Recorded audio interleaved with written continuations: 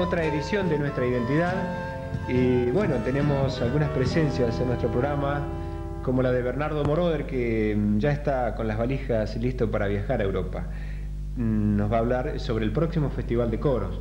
También Alberto Rossini, eh, padre de familia tandilense que está realizando una hermosa labor. Es muy interesante el con caso una escuela, de Rossini, ¿no? Con una escuela del sur. ¿Y quién es el próximo invitado? Bueno, estuvimos en Buenos Aires hace pocos días con Jorge Don, justamente quien saltó así un poco a la fama eh, internacional en la película Los unos y los otros, bailando el bolero de Ravel. Y tiene un espectáculo en este momento en Buenos Aires, ¿verdad? En estos momentos justamente está realizando junto a Zipe Linkowski, eh, Nijinsky, el clown de Dios, un espectáculo muy particular que ha contado con el beneplácito del público de la capital federal. Y ya creo que estamos viendo imágenes eh, de lo que sucedió en la tercera semana de los chicos en vacaciones de invierno, una semana que organizó la Subsecretaría de Cultura y Educación de la Municipalidad y que, bueno, tuvo unas 20 presentaciones artísticas, no solamente eh, aquí en Tandil, en el centro, sino en barrios periféricos y también en las localidades de Vela y de Gardey, con un saldo altamente positivo en cuanto al entretenimiento de los más chiquitos. Sin ninguna duda, Carlitos, y fue eh, muy, muy especial la, la acogida que tuvo, eh, tuvieron estos espectáculos, sobre todo en la parte de los barrios, ¿no es cierto? Exacto, sé que a veces no, no llegan los números artísticos por una cuestión de distancia o, o incomunicación de lugares donde realizar los espectáculos. Y esta vez Cultura se preparó para visitar distintos barrios. Cuando hablamos de canto, mucha gente por ahí dice, yo no podría cantar porque no tengo voz. ¿Es cierto eso, Bernardo Moroder?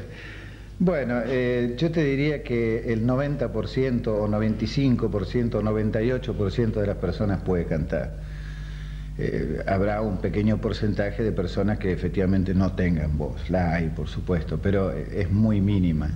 Si personas que realmente tienen problemas serios de las cuerdas.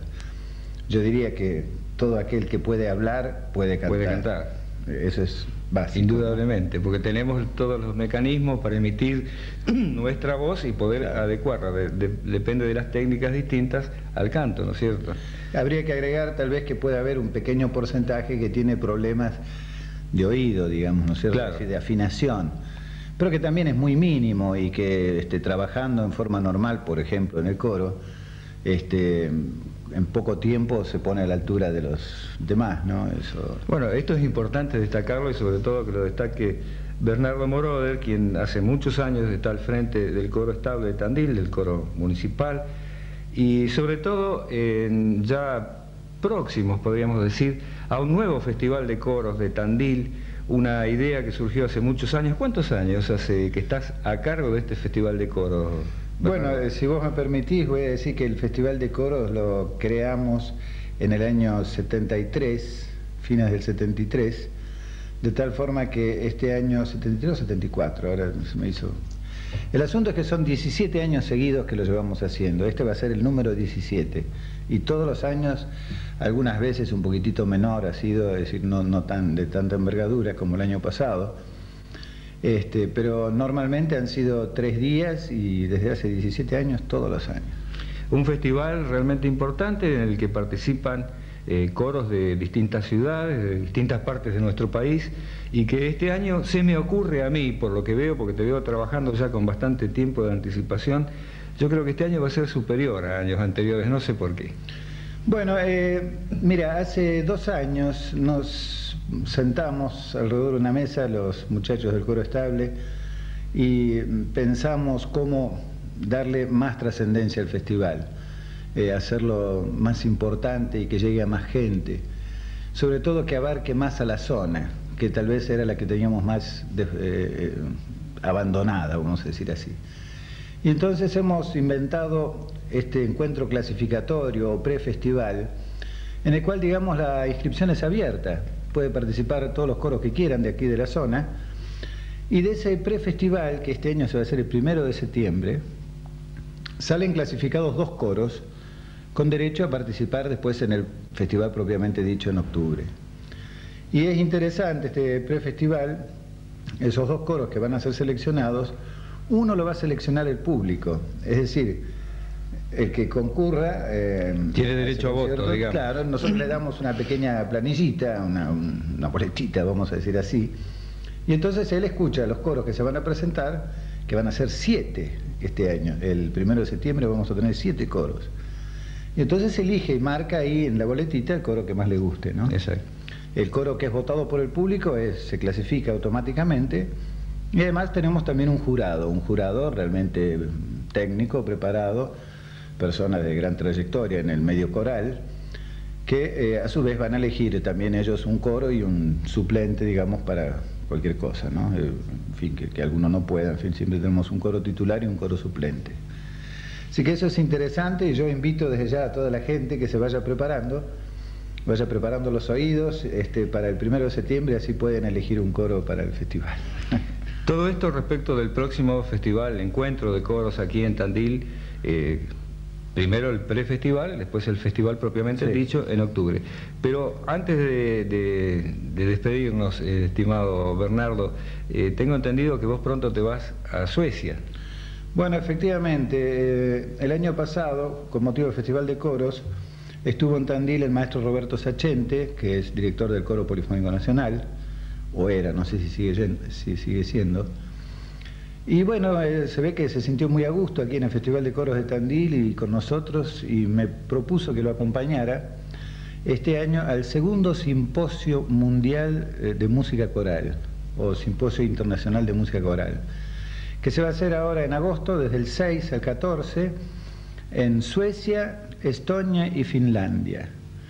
Bueno, yo en aquel momento no me lo tomé muy en serio, pero en fin, las cosas se fueron dando, me llegó la correspondencia de Suecia y me inscribí. Y bueno, efectivamente ahora está todo ya eh, preparado como para que yo me vaya el domingo. Y bueno, tendré ahí 10 días de mucho trabajo, te puedo asegurar. Eh, no sé la cantidad de directores de coros que asistirán de todos los países, pero el cronograma de trabajo que tienen preparado es una cosa de no creer.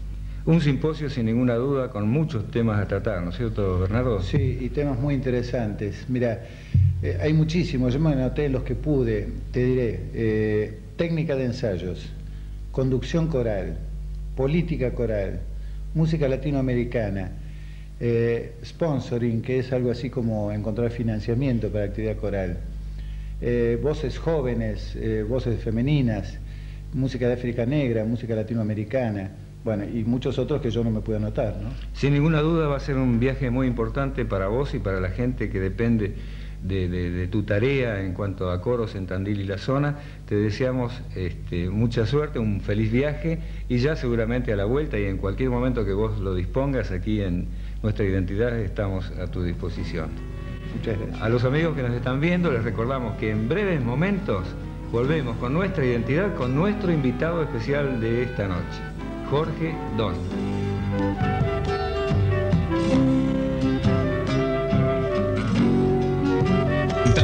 Fibrocentro, distribuidor exclusivo de los productos Eternit, vende e instala el legítimo Canalón 86. Fibrocentro, Avenida Perón 1698 Tandil y Juan B. Justo, esquina Italia, Mar del Plata.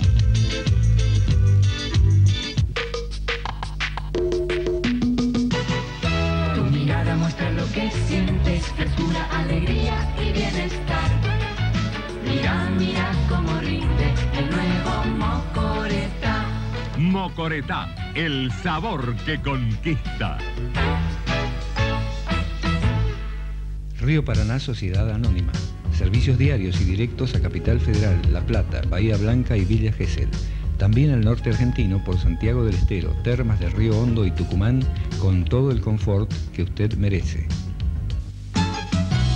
En audio, video y televisión, acérquese a Pingo, acérquese a Pingo, el nuevo camino y la mejor opción. Acérquese a Pingo, acérquese a Pingo. Experiencia, servicio, garantía y atención en Tandil. Pingo para usted. Usted ya sabe quién soy yo, pero le doy tres segundos para que me diga cuál es el mejor sistema para llegar a sus cero kilómetros. Sí, Biencar es el mejor sistema para llegar a su cero kilómetro. Biencar. Yo se los recomiendo. Biencar.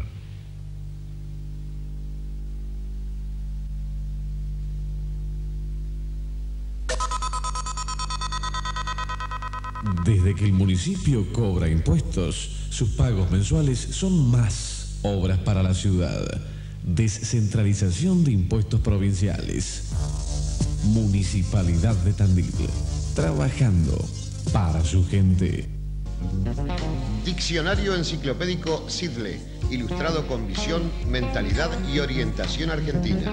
Diccionario enciclopédico Sidle es imprescindible.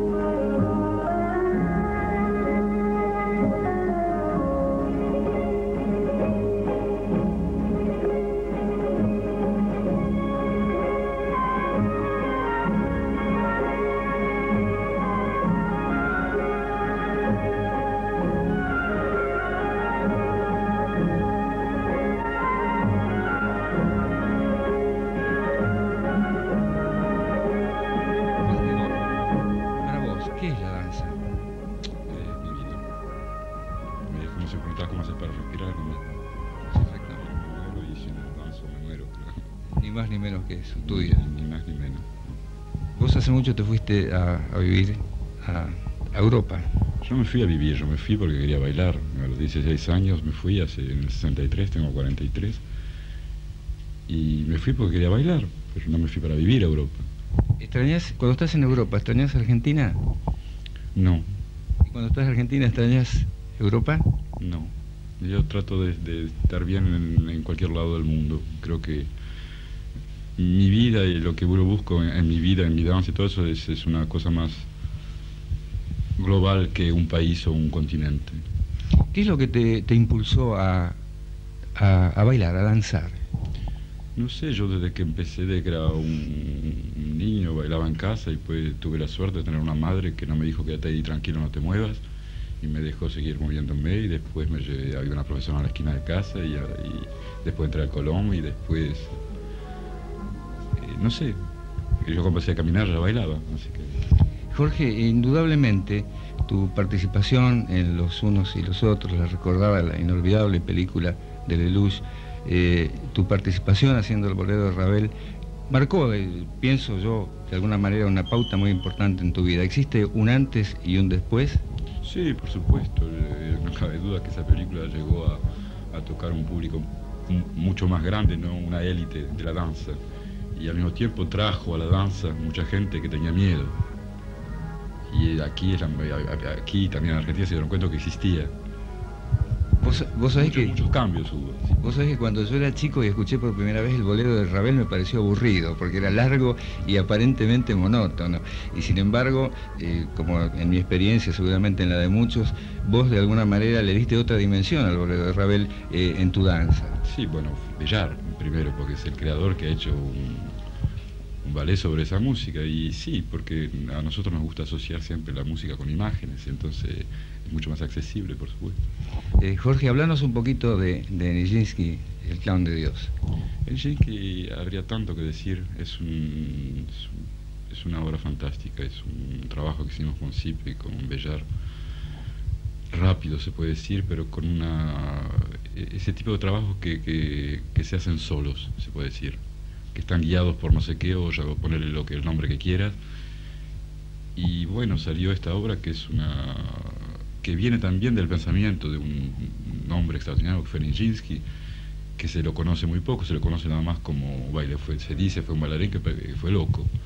Y poca gente sabe que este hombre dejó un diario personal de él con pensamientos de una lucidez, de una, de una claridad, de, una, de, un modernismo increíble. Un filósofo, en fin. era un visionario, te habla de política, del hombre, de la ecología, de, lo que estamos viviendo, pero es increíble. Y ese hombre, bueno, lo cerraron por loco, o él se encerró, mejor dicho, al mundo, porque el mundo era demasiado violento, creo. ¿Cómo está Europa ahora, eh, Jorge? Europa está grande, así que depende, cada lugar tiene, pero hay un movimiento que no solamente no, pero que es un movimiento mundial, el, mundo está, se está buscando, se está perdiendo, se está, son ciclos creo.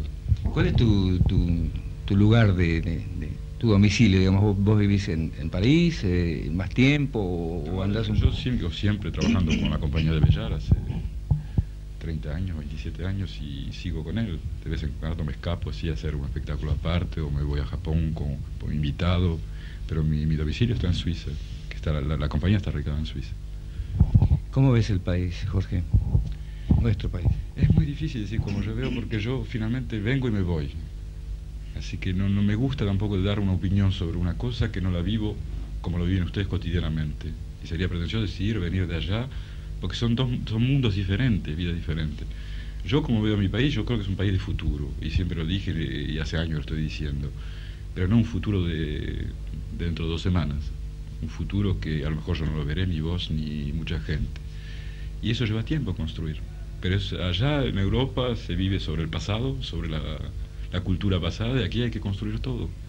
Pero los argentinos somos todos impacientes, creemos todo enseguida, y creo hay que aprender a ser paciente y, poner un ladrillito abajo de otro y no poner el de arriba porque se te cae lo de abajo. Hay que hacer las fundaciones primero.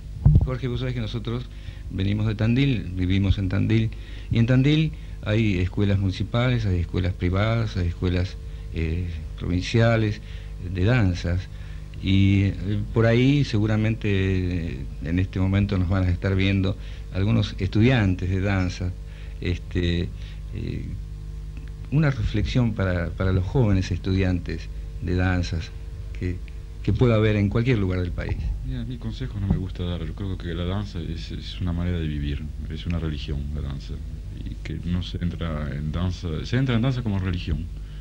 Y lo único que les puedo decir es que yo la vivo así, yo te puedo hablar de mi experiencia, pero todas las experiencias no son iguales. Yo creo que es la definición más exacta que te puedo dar. Todo un gusto, Jorge, de haberte conocido y muchas gracias por tu amabilidad. Gracias.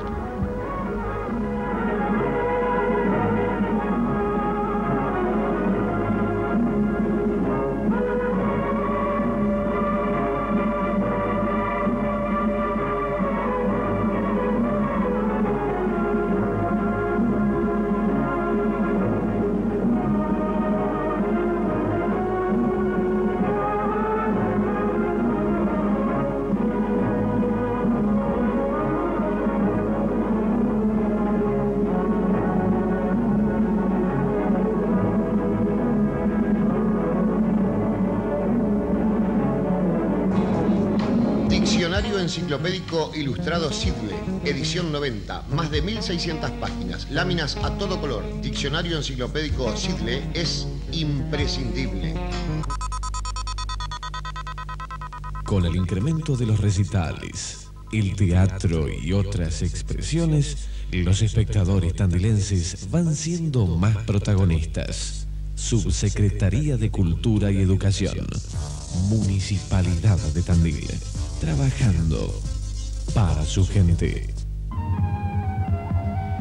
A menudo decimos que la Argentina está conformada por un crisol de razas. ¿Cómo no ocuparnos entonces de esos hombres y mujeres que llegaron a esta tierra en busca de cobijo y la hicieron grande?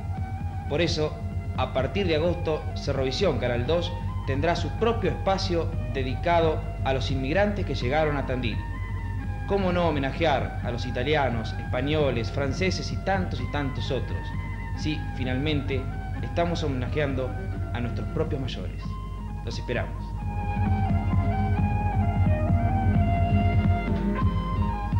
Tandil Fibrocentro, distribuidor exclusivo de los productos Eternit, vende e instala el legítimo Canalón 86 Fibrocentro, Avenida Perón 1698 Tandil y Juan B. Justo, esquina Italia, Mar del Plata.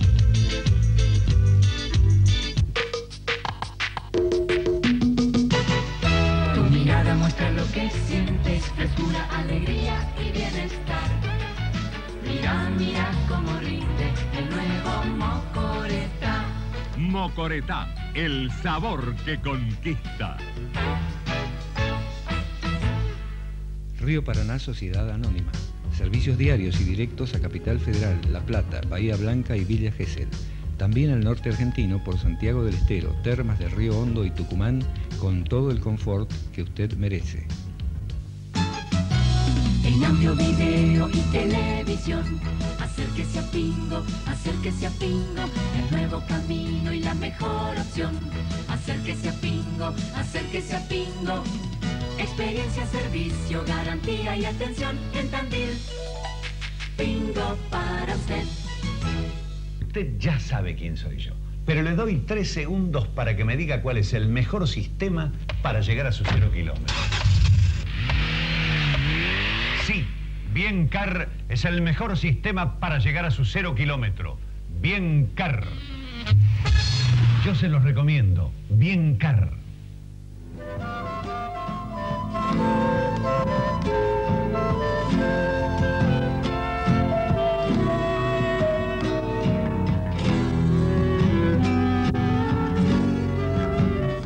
Sabemos de las necesidades que existen en las escuelas de nuestro país, no solo en capital y provincia de Buenos Aires, sino también en el resto de las provincias. Y es, directamente proporcional la distancia a la necesidad. Es decir, cuanto más distancia hay eh, con referencia a los centros poblados, eh, son mayores las necesidades. ¿No es así, Beto Rossini? ¿Cómo estás? Eh, bien, Carlitos. Mm, buenas noches. Realmente, como vos decís, hay una gran necesidad en las escuelas del interior. Eh, también las hay aquí alrededor, pero cuanto más nos alejamos, son mucho más grandes, mucho mayores. Eh, yo les quiero comentar que Alberto Rossini, junto con su familia, eh, está realizando desde hace unos años a esta parte una campaña de ayuda a una escuela eh, que está situada en una población que se llama Aldea Escolar al sur de Esquel. Contanos un poquito cómo nace eh, eh, esa necesidad también que tienen ustedes de, Y ayudar a los demás. En principio, Carlos, este, la necesidad de que nuestras hijas, mm, para ayudarlas a su formación, conocieran, por ejemplo, que hay otros chicos de la misma edad que posiblemente están cursando los mismos grados de escuela, pero en distintas partes del país. Entonces, la necesidad de contactarse con esos chicos para que supieran qué hacen, cómo son sus costumbres, qué cómo juegan, qué piensan y demás, es lo que nos llevó a ponernos en contacto con, con esta gente, ¿no es ¿En cierto? qué año fue esto? Eh, a finales del año 86. Desde entonces ustedes están realizando una campaña ininterrumpida de ayuda a esa escuela. Y a través de ustedes, eh, distintas familias de Tandil, ¿no es cierto?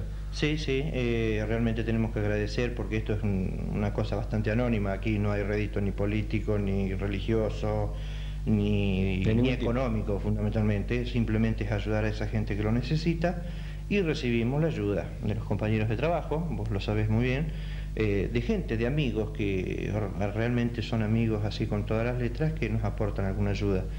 Ropa, mm, eh, no importa que sea usada, eh, mientras sea usable. Exacto. Calzado, libros fundamentalmente, porque tienen unas necesidades terribles. En esta época, por ejemplo, en época de invierno, la están pasando muy, pero muy mal. Y vamos a ir mostrando después fotografías del lugar de aldea escolar donde van a aparecer el, paisaje que es hermoso de la zona, eh, el pueblo, la escuela y la biblioteca. Precisamente esa biblioteca, eh, ¿cómo fue conformada? Bueno, esa biblioteca que seguramente van a ver eh, fue conformada con el aporte de todos aquellos que nos hicieron llegar libros, libros, libros, libros. Libros para los chicos, es decir, los libros que ya no se utilizan de cuarto, de quinto, de sexto grado, de tercero, de primero, de la escuela primaria, algunos de apoyo a la docencia y demás, eh, que estaban todavía en buen uso, ¿no es cierto? Los fuimos remitiendo allá y el personal docente de la escuela, con mucho amor, con mucho cariño, lo fue forrando, lo fue clasificando de alguna manera y se ha formado una pequeña biblioteca. La familia Rossini estuvo en enero de este año en la escuela, es decir, conoció la escuela. ¿Qué te deja esa experiencia? Y algo muy lindo, algo muy satisfactorio. primero y principal, la felicidad de comprobar que la gente del interior tiene un sentimiento ah, muy, muy firme. Es, muy humilde, pero no humilde, eh, no humilde de dinero, sino humilde como persona. Son, son muy buenos, son muy derechos, simples pero derechos, no tienen vuelta. Lo que les agrada lo aceptan, lo reconocen, lo agradecen. Lo que no les agrada por supuesto que no. Sí, sí lo manifiesta. Eh, acá tendríamos para hacer un programa mucho más largo, por ejemplo, mostrarle cartas de chicos que, le escriben a, otros chicos, ¿no? De escuelas de Tandil que ayudan. Habitualmente. Eh, trabajos también como los que tenemos aquí en esta mesa. Eh, por ejemplo, este hermoso jarrón o florero es un trabajo de un carpintero de allí, ¿verdad? Claro, en realidad ese no es un trabajo de los chicos, ¿no es cierto? Es eh, un señor que es carpintero, pero que le ayuda a los chicos, es decir, pone sus herramientas al servicio de eh, enseñarle a los chicos que van aprendiendo, hay algunos que ya se han plegado netamente a trabajar la madera, sí. está hecho con todo, con maderas locales, estacionadas, y es el trabajo de invierno cuando nieva mucho, no se puede andar afuera, entonces en invierno se, hace ese tipo de trabajo. ¿Y estas piedritas qué son, Beto? Bueno, esas piedritas nos, nos las regalaron a toda la familia los chicos de allá de Aldea Escolar. Eh, es todo, toda piedra redondeada por el, río cuando va bajando el deshielo y demás, y eh, tiene em, un cierto significado. Eh, para empezar están en agua de deshielo, no queremos destaparlas, no queremos perderlas porque inclusive si las sacás pierden el brillo natural de las piedras. Pero hay algo más, en el frasco más grande y abajo de todo, creo que se alcanza a distinguir, hay un corazoncito, un color bordó muy oscuro, que según dicen tiene una pequeña leyenda, se llama el corazón de la Patagonia. Dicen los lugareños que aquel que se lleva un corazón de la Patagonia siempre va a volver a la Patagonia después. Qué hermoso. Entonces, este, encontrar una piedra con realmente es, no sé, una casualidad no sé, con esa forma es realmente llamativo. Seguramente el brillo de estas piedras eh, es idéntico al brillo de los ojos de esos niños a los cuales eh, vos, tu familia y la gente de Tandil ha ayudado. Y yo quiero redondear esta nota eh, leyéndoles em, esta carta que le ha llegado a la familia Rossini recientemente, donde se acepta y agradece el padrinazgo de la escuela número 96 de Aldea Escolar por parte de la familia Rossini de la localidad de Tandil. La firma, entre otros eh, funcionarios provinciales, Carlos A. Palacio, presidente del Consejo Provincial de Educación de la provincia del Chubut. Porque la familia Rossini pidió ser, pidió el, el padrinazgo de, la escuela ya que no tenía padrinos. La escuelita no tenía padrinos, está... Eh, hay que decir una cosa, ediliciamente la escuela está muy bien conformada tiene eh, realmente unas disposiciones muy buenas para la educación y para la gente que trabaja en ella, el caso de la señora directora. Pero el problema lo tiene la comunidad que asiste a la escuela. Correcto. Entonces, eh, en cierto modo nosotros manifestamos así la ayuda a la escuela, pero no es directamente a la escuela en sí, sino a la comunidad, a, los chicos que concurren a esa escuela. Tu reflexión final, Beto, la invitación a la eh, gente. La invitación a la gente a que todo aquello que sea ropa, que sea calzado, que sea libro, que por favor nos lo acerque eh, o nos avisen. Mm, los que ya nos conocen, Carlos, por nuestro trabajo y los que ya nos conocen por esta tarea saben dónde estamos, que basta con que nos avisen nada más que nosotros vamos a buscarlo. Esa gente necesita ayuda, no es la única, vuelvo a repetirlo del comienzo, pero realmente cuanto más alejados están, más necesidades tienen. Nosotros queremos ayudarlos y pedimos eso nada más, que nos ayuden a ayudar. Yo pienso que nadie es tan pobre que no tenga nada que dar y ojalá que este ejemplo sirva para que todos nosotros pudiéramos ayudar a una escuela, no importa en el lugar que esté, pero que realmente lo necesite. Muchas gracias, Beto, por tu presencia. Carlito, mm, gracias a vos, en nombre de la familia, eh, agradecemos este pequeño espacio así que nos permite llegar a más gente que nos pueda llevar así más ayuda para ellos. Y bien, estoy al servicio de ustedes, cualquier novedad eh, se los haré saber de, una forma acostumbrada. Hasta pronto, gracias. Gracias.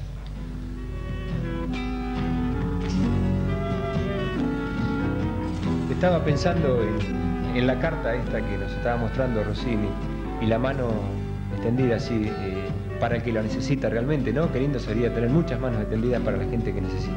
Cómo cambiarían muchas cosas, ¿no? Con tantas manos como podrían haber. Y tal vez con tan poco de parte de cada uno de nosotros. Interesante la labor de esta familia que está llevando una, haciendo una tarea tan, tan generosa, ¿no? Bueno, eh, tenemos eh, para el mes de agosto se va a reponer Escarabajos, una obra que tuvo excelente repercusión eh, y está a cargo de la dirección de José María Aguimet. Esta obra también el primer sábado de septiembre va a ser estrenada en la ciudad de Saladillo. Otra obra teatral que se avecina, la comedia tandilense estrenará el viernes 7 de septiembre Los Fabulosos 70 del Mundo Culino con la participación actoral de Luis Sicopiedi Mario Rojo y Jorge Panetta, con la dirección de José María Guimel. Esta obra será un homenaje a Luis Sicopiedi en sus 50 años de teatro. Grande, Luisito, un saludo para vos. Y ya terminamos con el programa, pero antes anticipamos nuestro próximo invitado especial en nuestra identidad, el próximo lunes, Piero. Esperemos que no falte entonces. Esperemos que no falte. Muchas gracias, hasta el lunes. Hasta el lunes.